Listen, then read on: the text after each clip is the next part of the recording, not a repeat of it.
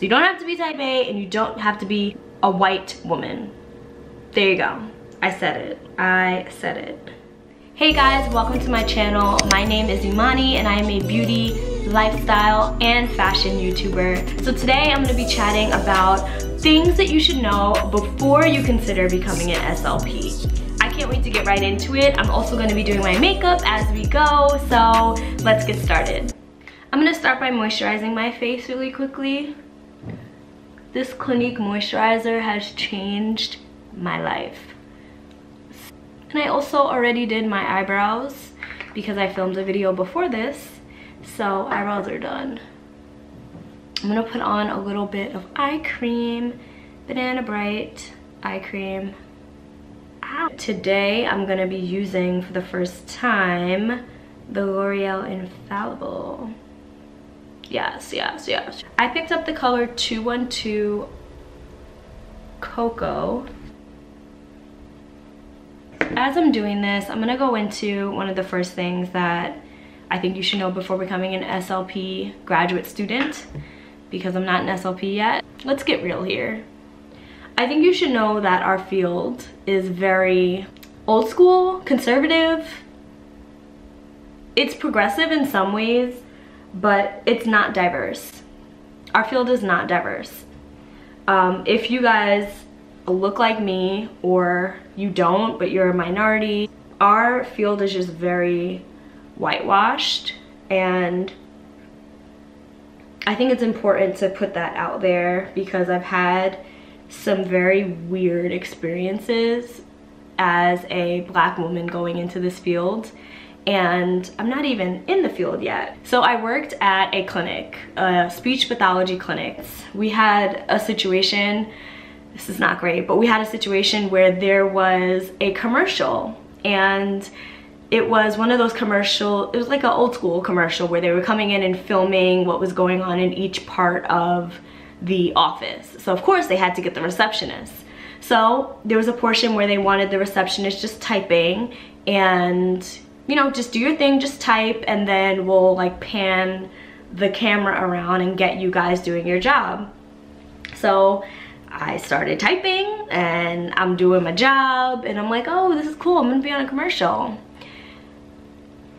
A few minutes later, I get a tap on the shoulder, like Imani, and I'm like, yes. And they're like, um, do you mind moving to this seat? Like that seat over there? And I was like, yeah, sure, that's fine, no problem. And when I sat in that seat, I realized that the camera was angled in a way that there was no way, it was blatant, there was no way that that camera was getting me on camera. Whether it was the back of my head or anything, that camera was not getting me on camera. And it was strategic, obviously, that they had put me in a spot where people couldn't see me. And that was just one of the many little instances of racism, honestly, like straight up. I'm not saying that SLPs are racist at, in any way, shape, or form. I'm not saying that our field is racist. No, not going there. There may be some looks that you get, some questions that you get asked, um, and you know, just a little bit of surprise when you walk into a room as someone who is going to school for this. So be ready for it, embrace it, because I Okay, I have foundation on by the way, and I like it. It's very light. I like a light foundation. Go in with the Born This Way Multi-Sculpting Concealer. I have the shade Chestnut. Um, on a lighter note, I think another thing that's really important to know before you become an SLP is that things that you hear about this being like the most rewarding career ever is so true. I know like before I went on, people were like, it's the most, like there's all these things, but it's the most rewarding career in the world. And I was like, yeah, sure. But now that I'm doing it, I see every day that like when my clients have progress and I'm seeing that and I'm seeing that it's because of the work that we're doing together, it is, there's literally no better feeling if you're interested in this field, you know how important it is to be able to express yourself, especially in our day and age. There's so much going on it, it makes me emotional. Why did that just happen? I just started like, ee, like welling up with, okay, I'm not gonna do that. But there's so much going on. Like I just think about some of the horrible things that are happening in the world and some of the amazing things that are happening in the world. And these things are happening because people have a voice. They're expressing themselves and they feel empowered to do so.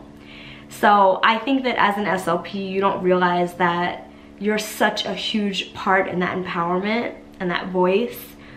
And your job is so important. So that's something that is true about SLP. If you read it anywhere, if someone tells you that and you feel like they're bluffing you, you're not. Like it really, really is the truth.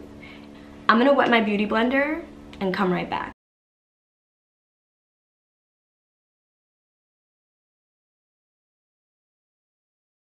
All right, I'm gonna dip into some powder and get into the next thing. Next thing that you should know is that you are not going to be a teacher.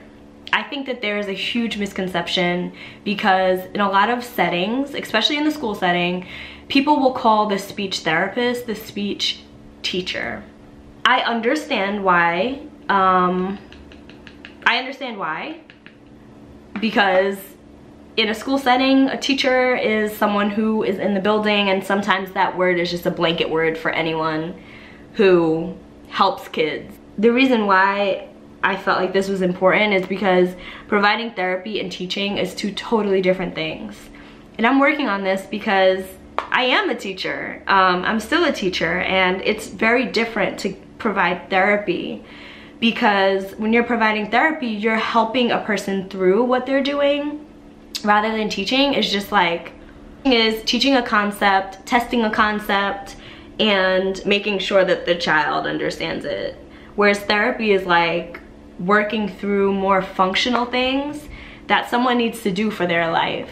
And I love ther therapy for that reason. If you're still interested and you're still confused, watch some YouTube videos of therapy. Watch like an adult, watch um, a child and see how therapy is a little bit different than like sitting in a classroom so that you can understand what you're gonna be doing. Whoa, my forehead is big.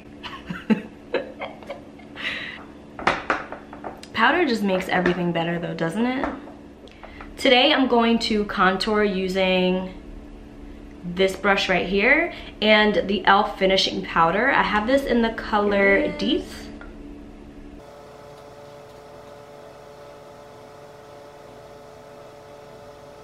So the next thing that you should know before going into SLP grad school is that there are so many options as far as what you want to do afterwards. So before you go into grad school, I think it's really great to kind of have some type of experience with different types of people whether it's adults or children or just even to have like an idea of what you want in the future because it's really hard to decide and you're gonna get so much exposures and there's some people who know that already but I'm definitely someone who's like eh.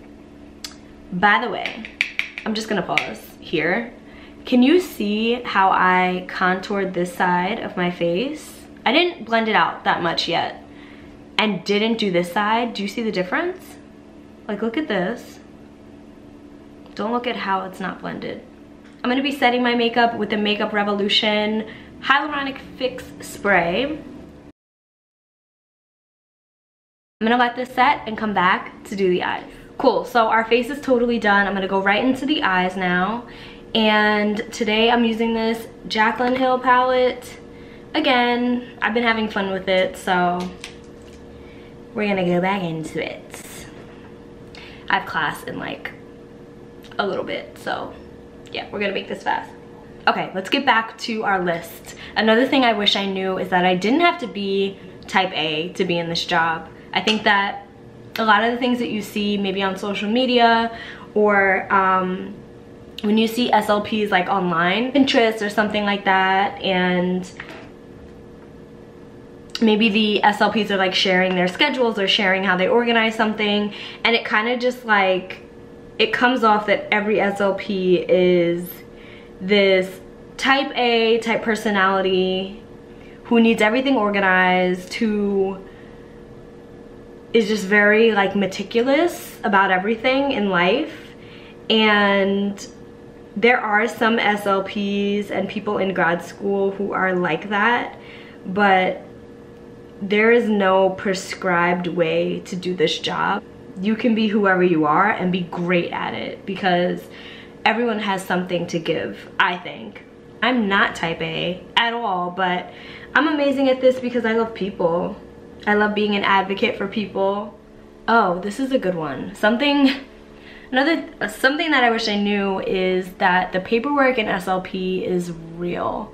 Like people talk about it, but it really is one of the most tedious parts of the job of the job and it's a big part of the job. And what I mean by that is like the actual reports that come along with your clients. For me, it's been a huge process learning how to write clinically because writing clinically and writing like for college is two totally different things. So definitely like before you get into grad school, work on your writing, but not clinically because you don't know how to do that yet and don't worry about it until you get into it, but work on writing more concisely. Going into graduate school, if I'm just being honest, I my writing was all about me expanding my papers in the best way that I could and that would be by adding a bunch of filler words and it would get me by. It would get me to the page limit that I needed to get to and I'd do great and there we go. Like it was just a thing and that's a thing in college. But maybe it was just me. Honestly now I feel kind of, did you do that? Let me know in the comments because I did that and we all did that. Okay, if you didn't do that, I need to know. But anyway, that's something that I did. And I feel like being in graduate school and now clinical writing, the minute, and I mean the second that you start to add in filler words and you start to like go off on a tangent, it's a no-go. Like it is gonna, you're gonna get feedback on it and you're gonna have to revise it. So work on it now because it is hard to kind of like reel it back. I can't believe I, I'm saying this stuff but hopefully you guys appreciate me getting really really nitty gritty with you. Another thing that i didn't know like i mentioned earlier you kind of you do need to learn about everything whether you want to actually go into it or not. So you need to learn about things like strokes and parkinson it's honestly so cool. We're not doctors and like we don't make those kinds of diagnoses or anything like that but it is um, really cool that you're gonna know about so many different disorders and you're gonna really have a lot of background knowledge um, just from your grad school courses. So if you're into that, just know it's gonna be really cool. I just put a shimmer color in the middle and I'm gonna blend it out but right now I'm just making sure you can so as I'm blending this out I just thought of another one. By the way I'm picking up a brown color again just to blend this out. But people are not going to understand what you're doing. People may not even understand your field or what you're studying. So be prepared to explain your field. Be be prepared to have like a tagline of what speech pathology is and what speech pathologists do because people are going to be so confused. Just know that like you may have to think of a few ways to explain SLP and that's okay. Um, it's actually really fun when people learn about what you do. It's like oh shoot like that's that's what they do? Yeah!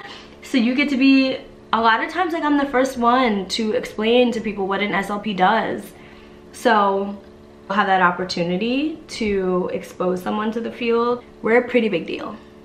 That's basically what I'm saying. I'm not serious. Please know that I'm not serious. I am being an idiot. Okay, I'm gonna fix my eyebrows because with the eyes now, it looks pretty weird. This is the Precisely My Brow pencil by Benefit. I have the color number five Okay, I'm gonna add a little bit more mascara. Colossal Big Shot, Colossal Big Shot, Colossal Big Shot. I have class in 20 minutes. I have class in 20 minutes. All right, I'm gonna take these braids down. Okay guys, so here is the finished look. Super brown, super glowy. That foundation, the Infallible Pro Glow, I really liked it and I definitely will be using it again. I wanna thank you guys for watching this video. I hope that you learned a lot of things that I wish I knew before going into graduate school. I will see you guys in my next video. Comment down below anything else that you would like to see from me. Thank you, and don't forget to subscribe. Bye.